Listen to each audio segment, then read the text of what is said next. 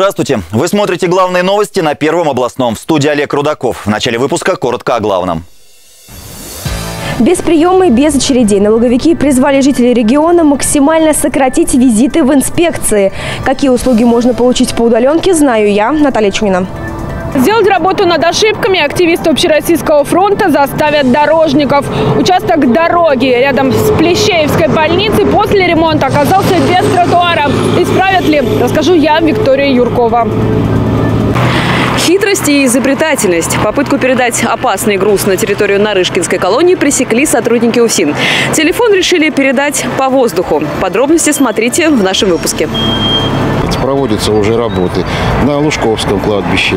Одни помнят, другие мусорят. Орловские чиновники пообещали навести порядок на кладбищах в ближайшее время. Кто выполнит работы и какова их стоимость? Генеральный партнер главных новостей – кредитный потребительский кооператив «Сберегательный союз». Первые два случая заражения коронавирусом подтверждены в Орле. По данным эпидемиологического расследования установлено, что граждане посещали страны неблагополучные по коронавирусной инфекции в последние две недели. Все госпитализированные находятся в инфекционных боксах. Результаты подтверждены в установленном порядке. Определен круг лиц, с которыми они контактировали. Сообщается на официальном сайте Роспотребнадзора. Информацию подтвердили и в региональном правительстве. Речь идет о семейной паре, которая э, прибыла 17 марта э, из Праги в Москву. В Москве были взяты первичные анализы, и потом на личном транспорте э, семейная пара добралась, муж и жена, до Орла. Прибыв в Орел, находились в так называемом режиме самоизоляции, и уже с пятницы на субботу они были в ночь помещены в больницу имени Боткина. Действительно оперативно сработали все службы, получив информацию об их прибытии в регион. Э, удалось изолировать. Э, сегодня мы обладаем всей информацией о контактах. Абсолютно все орловчане смогут добровольно пройти тестирование на коронавирус. Инициатива принадлежит губернатору Андрею Клычкову. В территориальном управлении Роспотребнадзора к тестированию готовы. Планируется а, открытие пунктов приема клинического материала в медицинских организациях, а, в которых каждый желающий может а, провести сдать клинический материал для лабораторных исследований на коронавирусную инфекцию. Это те лица, у которых не наблюдаются признаки инфекционных заболеваний, и те, которые не выезжали за пределы Российской Федерации. В Орле, как и в ряде регионов России, заработала горячая линия. По телефону 8 800 234 11 примут заявку для оказания помощи пожилым людям, а также маломобильным группам населения. Многоканальный телефон запущен в связи с ситуацией по коронавирусу. Накануне в исполкоме ОНФ прошло первое заседание оперативного штаба. За один стол сели руководители областных департаментов, волонтеры, члены Общероссийского народного фронта. Обсудили предстоящее взаимодействие. Работа горячей линии начата. Э, все мы готовы к оказанию помощи одиноко проживающим гражданам старшего возраста, которые у нас находятся, к сожалению, в группе риска. Готовы помочь им в доставке продуктов, медикаментов. Э, считаем, что на сегодняшний день в регионе создана вот эта схема, которая поможет нам реализовать эту задачу. Сегодня мы встречаемся с волонтерами-медиками, сегодня встречаемся с Народным фронтом для того, чтобы сделать вот эту схему максимально удобной и э, дойти до каждого человека, который будет нуждаться в нашей помощи. Однозначно самый подготовленный контингент – это волонтеры-медики, которые э, могут с присущей им мерой предосторожности, соблюдения э, в непростой эпидемиологической ситуации по новой коронавирусной инфекции действовать. Э, поэтому данный ресурс, он востребован. Данная линия создана по инициативе Общероссийского народного фронта совместно с волонтерами-медиками. Э, звонки, которые будут поступать на эту линию, обращения будут обрабатываться. Действительно будут определяться люди, которые остались без поддержки, без помощи, без родных. Им будет оказываться различная помощь. Волонтеры вместе с активистами ОНФ отработали первый вызов. Это была доставка лекарства пожилой орловчанке. Я бы сегодня тоже потратила бы, ну, минимум полдня. Как минимум. Мой врач сегодня принимал с 12. Вот я бы там просидела часов до 4 среди больных. Штаб открыт для каждого добровольца, и мы призываем каждого нашего земляка, жителя города Орла, Орловской области присоединиться к нам, стать добровольцем в нашей команде. Еще раз озвучу номер горячей линии по оказанию помощи пожилым и маломобильным гражданам. 8 800 234 11. Колл-центр работает в круглосуточном режиме. Звонок бесплатный. Пандемия коронавируса не причина делать перерыв в учебе. Получать знания можно и нужно, не выходя из дома. Многие учебные заведения «Орла» уже перешли на дистанционное обучение. В школах срок такого обучения до 12 апреля. А что сейчас происходит в вузах, расскажет Анастасия Гришина. Опустившие коридоры и учебные аудитории могут свидетельствовать лишь о двух вещах. Либо учебный год уже закончился, либо студенты ушли на каникулы. Однако не в этот раз. Все учебные заведения на карантине. Однако образовательный процесс не может быть остановлен. Впереди сессии и защиты дипломов. На помощь студентам, да и преподавателям тоже приходит процесс дистанционного обучения. Начиная с 17 марта текущего года, э, согласно приказа министра науки и э, высшего образования Российской Федерации, э, ВУЗ перешел на дистанционные образовательные технологии.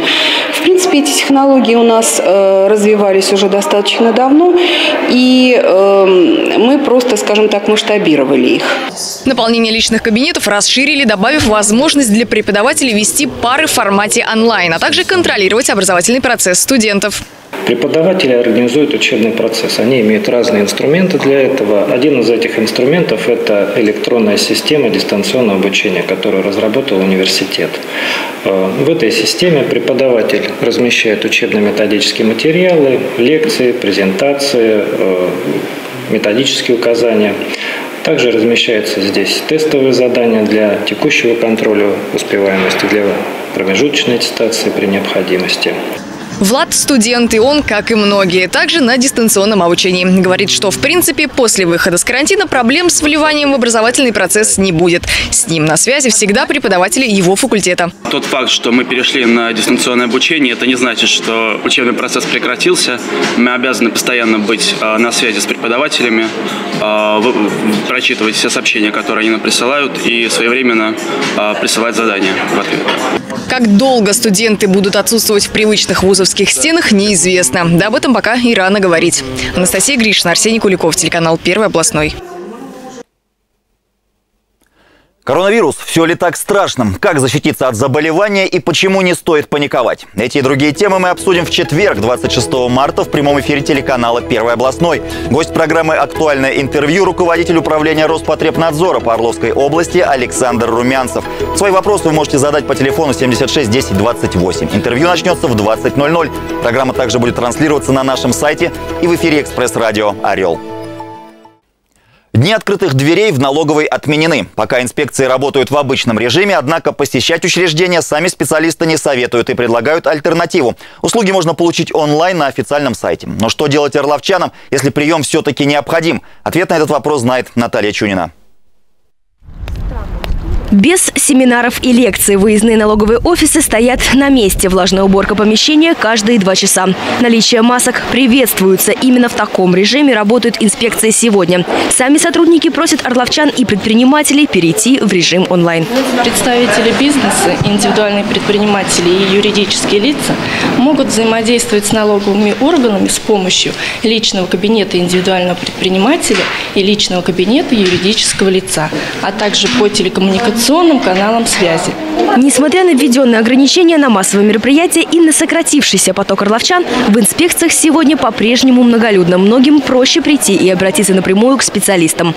Пользуемся только госуслугами, а, то есть а, смотрим всегда, есть ли налоговые задолженности, что это штрафы. Пользуюсь личным кабинетом, но как бы необходимо сдать декларацию. Времени свободно практически нет, вот выбрала время, поэтому пришла. Кабинет зарегистрирован зарегистрирован, там э, захожу я для того, чтобы узнать о том, э, зачислились ли своевременно налоги и правильно. Вот. Но сейчас, как видите, уже вот во второй раз прихожу сюда, потому что пока не закрыли э, на карантин, удобнее все-таки общаясь с людьми. На сайте налоговой инспекции представлено более 60 электронных сервисов. Один из самых популярных – личный кабинет. В личном кабинете физического лица можно узнать задолженность, оплатить налоги, заполнить и подать декларацию 3 НДФЛ, а также урегулировать вопросы расчета с бюджетом, в том числе вернуть НДФЛ за приобретение имущества, обучение и лечение. Если без визита в налоговую все же не обойтись, то лучше записаться заранее, по совету специалистов. На сайте, чтобы в очереди не стоять, работает специальный сервис. Там можно выбрать удобное время, инспекцию и вид услуги. Для мониторинга финансовых трудностей, связанных с распространением коронавируса в областной налоговой, создали специальный ситуационный центр. Там принимают жалобы орловчан и предпринимателей о возникновении экономических и социальных проблем. Позвонить можно по телефону 47 08 51. Наталья Чунина, Ирина Волкова, телеканал Первый областной. Сотрудники пенсионного фонда также рекомендуют орловчанам перейти на онлайн-обращение. Таким образом, намерены снизить риск заражения коронавирусной инфекцией. Подробности знает экономический обозреватель Первого областного Анастасия Гришина. Настя, здравствуй. Так какими услугами могут воспользоваться орловчане, не выходя из дома? Олег, здравствуй. С помощью личного кабинета на сайте фонда можно заказать любые справки. Есть там информация о пенсионных коэффициентах и сертификатах на мат-капитал.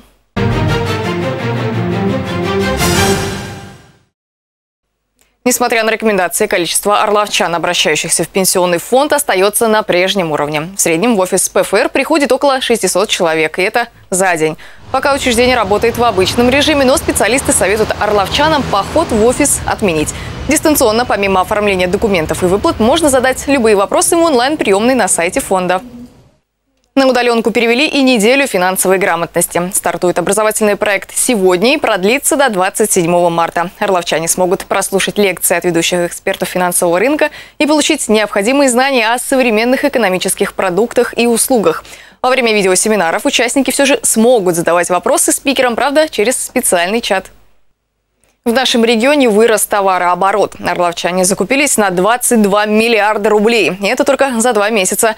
Показатель не маленький, обошел прошлогодний на 4%. В основном потребители приобретали непродовольственные товары. На продукты ушло около 10 миллиардов рублей.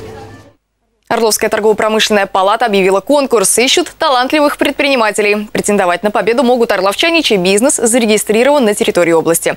Участие в конкурсе бесплатное. Номинаций много. 8. От лучшего стартапа до интернет-прорыва. Заявки на участие принимаются до 19 мая. На этом у меня все. Спасибо. С новостями экономики нас познакомила Анастасия Гришина, а мы продолжаем. Орловские дорожники готовятся к старту нового сезона. Основная часть торгов проведена еще в прошлом году. В рамках нацпроекта «Безопасные и качественные автомобильные дороги» планируется отремонтировать 10 участков региональных и межмуниципальных трасс. Всего более 70 километров, сообщили на совещании в администрации региона. Как сегодня орловчане оценивают состояние орловских дорог и какие планы на этот сезон, узнавала Наталья Пехтерева проехать нигде невозможно. Мы налоги исправно платим, а дороги не делаются. Ну, если поубирать все канавочки, то дороги будут отличные. В центре в основном хорошие, но бывает, что едешь прям по колено, яма вообще никуда не годится.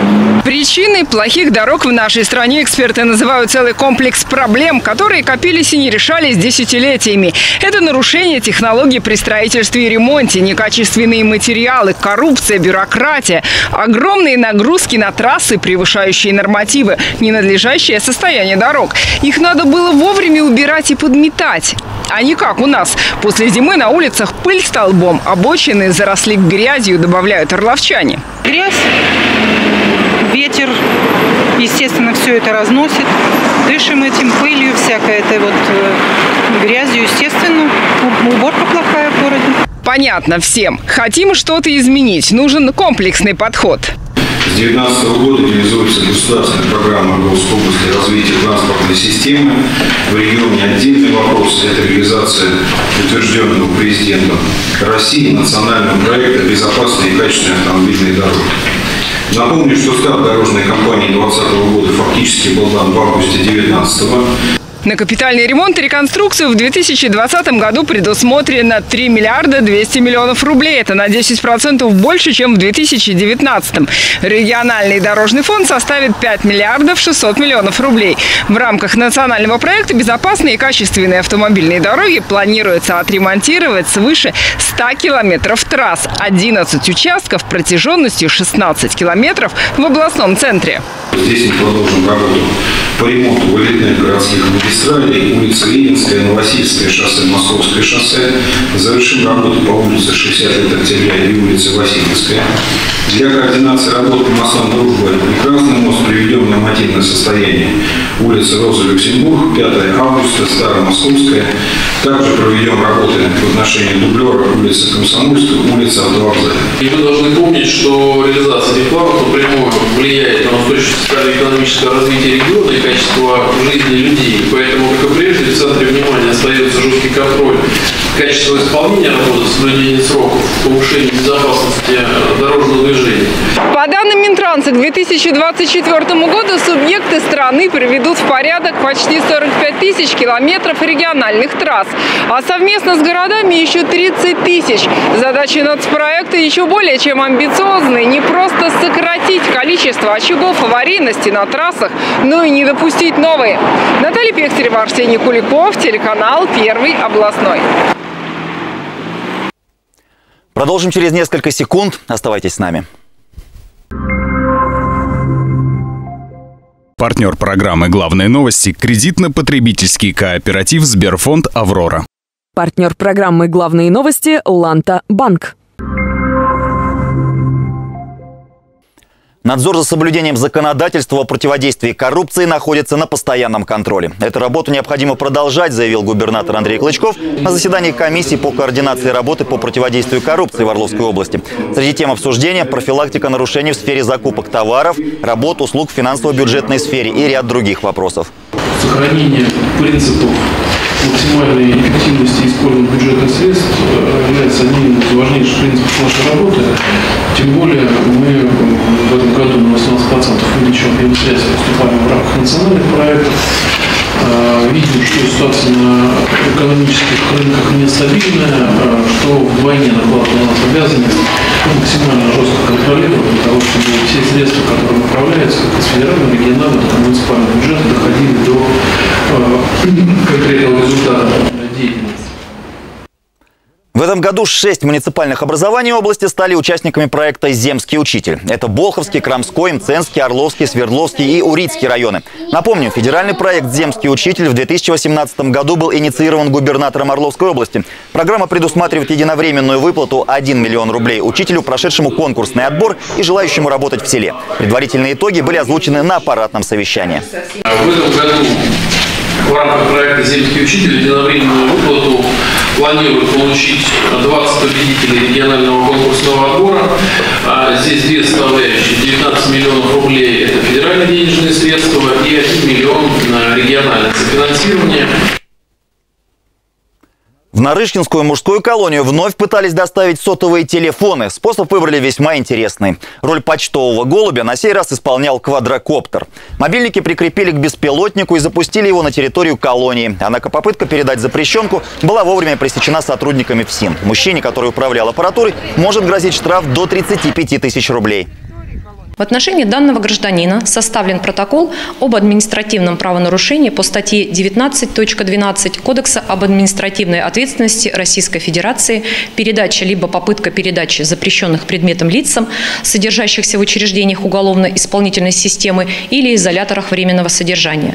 А также направлены материалы для принятия решения о привлечении к административной ответственности по статье 11.4 Кодекса об административной ответственности Российской Федерации – нарушение правил использования воздушного пространства.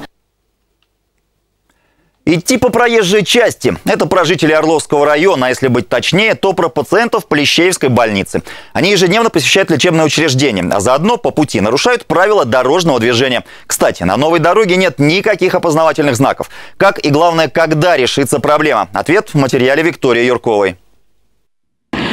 Дорога рядом с Плещеевской больницей – это как раз тот случай, когда жители ремонта не оценили. А активисты Общероссийского народного фронта встали на их сторону, заявив, работа над ошибками будет, добьются. Участок нового дорожного полотна переделают ради удобства людей. В Плещеевскую больницу обращаются в том числе и пожилые люди. А они сейчас в группе риска. Невнимательность может привести к трагическим последствиям. Так что дорогу лучше переходить в специально отведенных местах местах. Орловский район, он является самым большим районом в Орловской области, где проживает самое большое количество а, населения. Э, обслуживает э, данный район Плещеевская районная больница. В прошлом году происходил ремонт федеральной трассы Орел-Харьков, так называемая, которую организация обслуживает. Э, остановка была перенесена, а, скажем, в соответствии с ГОСТ потребованием, чтобы она не была напротив друг друга. Сейчас жители Орловского района просят вновь перенести зебру. Правда, теперь указывают в совершенно противоположную сторону.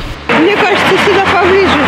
Я так думаю, да, здесь удобнее было бы. Щебенка – это опять не решение проблемы, необходимо сделать полноценный тротуар, который э, способен как бы оградить жителей нашего города, нашего района, Орловского района, которые пришли в поликлинику, обезопасить их, скажем, таким образом. Поэтому после выезда на место наши активисты Общероссийского народного фронта мы сделали обращение в руководство дороги. Заинтересовались и дорогой на микрорайоне. Вернее, отсутствием остановочного павильона на металлургов. Орловчане ждут транспорта на месте парковки. Особенно остро проблема встает в выходной день. Остановочный павильон стоит. Когда Ну, здесь маршрутчики проверяют ГАИ, останавливаются они здесь. останавливаются там. А когда не проверяют, они останавливаются здесь. Здесь просто годами сложилось. Я не знаю, как город на это смотрит. Может быть, они считают, что тот павильон для всех, а они просто нарушают, останавливаясь здесь. Но люди стоят тут всегда. И к этому вопросу тоже обещали подключиться активисты ОНФ. Жители микрорайона надеются на скорейшее решение проблемы. Виктория Юркова, Андрей Борискин, телеканал «Первый областной».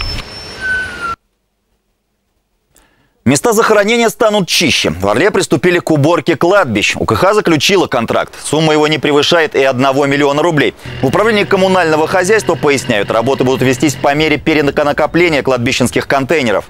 В настоящее время, согласно заключенного муниципального контракта, подрядчик осуществляет услуги по содержанию кладбищ и воинских захоронений города Орла. В частности, проводятся уже работы на Лужковском кладбище, Троицком, Крестительском, на Угорском. Сумма А, контракта известна? Сумма контракта известна. 300 тысяч. Напомним, накануне мы рассказывали о том, что городские кладбища завалены отходами. Невывозом мусора возмутились орловчане. А руководитель УКХ Дмитрий Фролов утверждал, что ситуация не меняется который год. Подписывайтесь на нас в социальных сетях и заходите на сайт obladin.ru. Главные новости нашего региона и на экспресс-радио «Орел на 104 FM». Выпуски по будням каждые полчаса с 6 утра до половины 12 вечера. Это все новости на сегодня. В студии был Олег Рудаков. До свидания.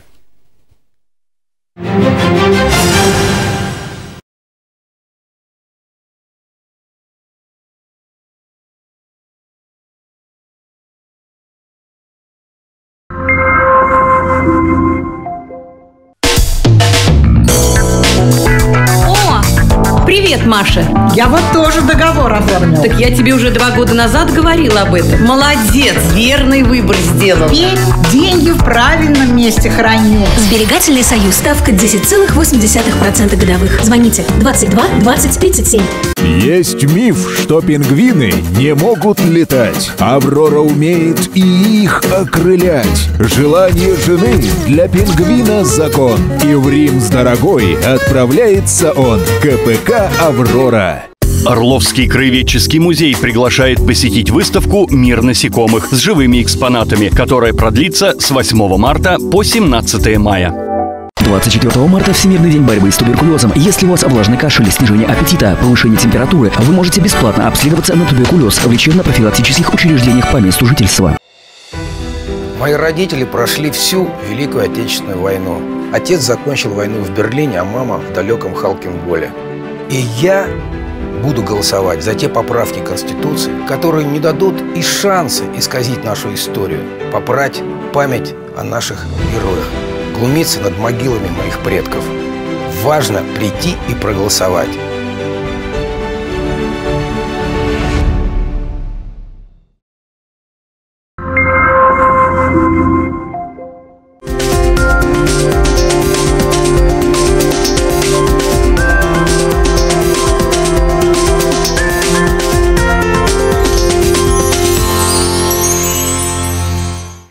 Здравствуйте! Время прогноза погоды на Первом областном. С вами Катерина Ясная. В этот день наши предки ждали приближения теплой ясной погоды. Сырость и слякоть постепенно отступали. Однако, если в этот день стояла солнечная погода, то лето ждали ненастным. А теперь прогноз. В Амцинске осадков не будет, солнечно. Воздух прогреется до плюс 7 днем, ночью минус 3. В Ливнах солнечно, осадков тоже не будет. Температура плюс 7, ночью минус 4. В Болхове солнечно, без осадков. Днем плюс 6, ночью температура 3 градуса мороза. Весь день солнечно в Орле, никаких дождей. Плюс 7, ночью минус 5. Ветер северо-восточный 3-4 метра в секунду. Атмосферное давление значительно выше нормы. 763 миллиметра ртутного столба. Это был прогноз на среду. Оставайтесь с Первым областным. Наши партнеры. Клиника «Диксион». Забота, комфорт и качество – все в одном месте. Кредитный потребительский кооператив «Сберегательный союз». Сбережения под высокие проценты. Ставки до 10,8% годовых. Все сбережения застрахованы. Магазин «Проект Мебель» при покупке кухонного гарнитура разделочной доски из искусственного камня в подарок. Мценск, Тургенева 110 и 137. Машиностроители 19. Весна – время обновить гардероб для всей семьи сразу. Планета одежды обувь – ваш любимый семейный магазин. ТМК Грин, Крамское шоссе, 23, цокольный этаж. Гипермаркет линия на Карачевском шоссе, 74, второй этаж. Улица Михалицына, 5. Центр молекулярной диагностики. Приемлемые цены, высокое качество предоставляемых услуг. Действует постоянная система скидок. Бульвар Победы 2, помещение 208, вход со стороны Октябрьской. Пусть все ваши мечты сбываются. До свидания. Достичь вершины в жизни удается не каждому. Вкус победы из 2006-го я перенес в настоящее. Мой дух, мое здоровье я укрепляю день за днем, а помогают мне в этом те, кто работает на результат, так же, как и я. Клиника «Диксион» на пути к новым победам.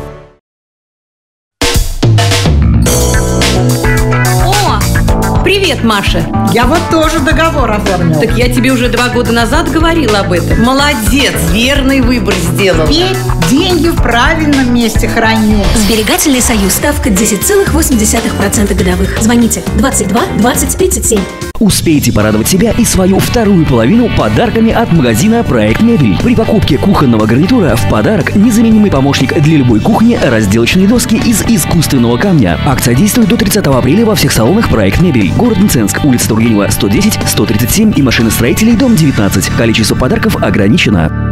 Весна намного ближе, чем кажется. Почему бы не начать уже сейчас к ней готовиться? Взять и обновить гардероб для всей семьи. Сразу, эффектно и экономно. Магазин «Планета Одежда Обувь» ждет вас. Куртки, обувь, сумки, джемпера, футболки, платья, аксессуары и не только. На все случаи жизни. Обновление товара два раза в неделю. «Планета Одежда Обувь» – ваш любимый семейный магазин. ТМК Грин, Крамское шоссе 23, цокольный этаж. Гипермаркет «Линия» на Карачевском шоссе 74, второй этаж. Улица Михалицына, 5. Чтобы сделать все необходимые анализы, больше не нужно ехать в Москву. Центр молекулярной диагностики теперь в Орле. Приемлемые цены, высокое качество предоставляемых услуг. Действует постоянная система скидок. Высокая квалифицированная консультация медицинских специалистов, терапевт, педиатр, гинеколог. В центре также проводится ультразвуковое исследование. Аппарат нового поколения позволит запечатлеть малейшие патологические изменения и провести быструю и точную диагностику. Бульвар Победы 2, помещение 208. Компания «Ритуал Сервис» принимает заказы на памятники из карельского гранита с бесплатным художественным оформлением. Подробности у менеджеров-консультантов в наших филиалах или по телефону 44 45 46. Адреса филиалов на сайте ритуал-сервис 57.рф. Предложение ограничено.